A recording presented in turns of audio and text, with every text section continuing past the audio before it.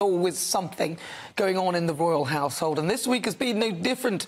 And each Saturday, I like to give you a rundown, and who better to do so than royal biographer Angela Levin? Angela. Hello. Good to see you. Right, so we've got a lot going on. Yes. Where should we start? Well, st you have to start with King Charles. Mm. He was allowed to come out and be with people, which is what he really wants to be. And I thought there was a big change in him because he was so accessible, so easily accessible. And when he went to um, the uh, centre, the cancer centre, he, he was absolutely involved with the people. He was talking to them. And you could see that it wasn't just, you know, have you been here long and all that. It was really deep. And when he went, he always held their hand for about 20 seconds. And you think, you know, this is an amazing monarch, actually, who doesn't mind saying what is happening to him and who is actually really caring. And what was lovely with the protocol was that there were two children who were suffering from cancer who gave each of them, him and the Queen, a, a posy. Aww. And he gave them a bag full of presents for Aww, them. That's and so I thought sweet. that's a, a complete break of of normal behaviour. The Queen would never have done that. But you see, he now wants to be one of the country and to do what he can for everyone. And I thought it, it was absolutely marvellous because he also told them he had to rush because he had to go for his treatment. So you could picture what he's going through. Mm and he could picture what they were going through, and it worked very well. Yeah, it's lovely to see him out and about, isn't it? But he's so brave he and so very, very strong. And I think people really respect that he really... We now understand what this duty is about when you see people like Meghan who should have been able to handle it and should have got in there, yes. and she didn't manage it. But, of course, uh, Harry is coming Yes, Harry next is week. coming. Yes, he's coming Tuesday. Um, and um, this is for uh, Invictus Games, uh, 10 years since it's been going, which is a marvellous event. And it's going to be celebration at the St Paul's Cathedral, or prayers for them. Um, the, quest- the, big question is will he see his father? Um, I personally don't think so, because um, there's a big party in the gardens which finishes as the Invictus Games finish at six o'clock. And if he's had to shake hands and say hello to 100, I think there's 300 mm. people coming, if he's going to have to do that, I think he would be very tired. Mm. And if he did see Harry, it would be very quiet, very quick.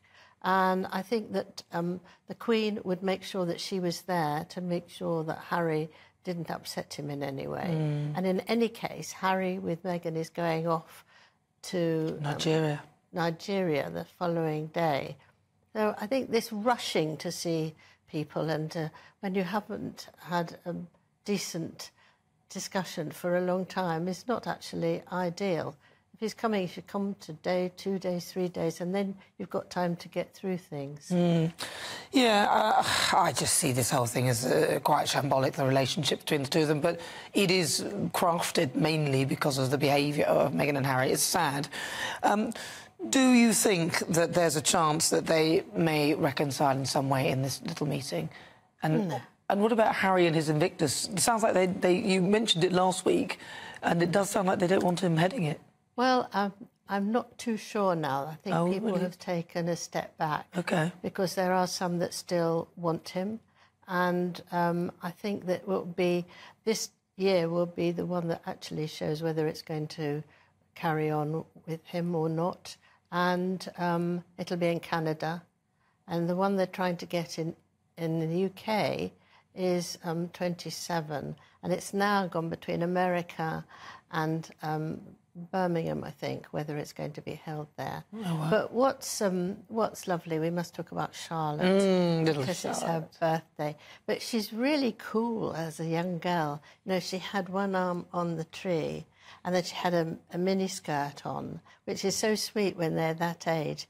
And she's really smiling. She's brilliant. You know, she knows how to pose. She knows what she's doing. She's grinning at her mother. Luckily, Catherine took her photograph.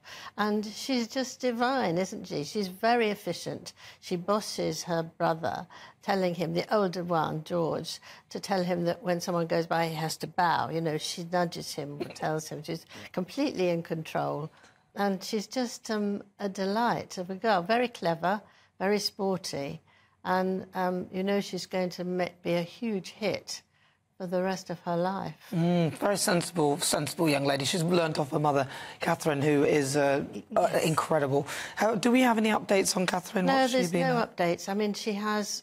I think it's quite a surprise for us that she's done the photographs mm. of of her and um, Louis um, a few weeks before, but she's actually keeping right away, and um, I, I worry for her.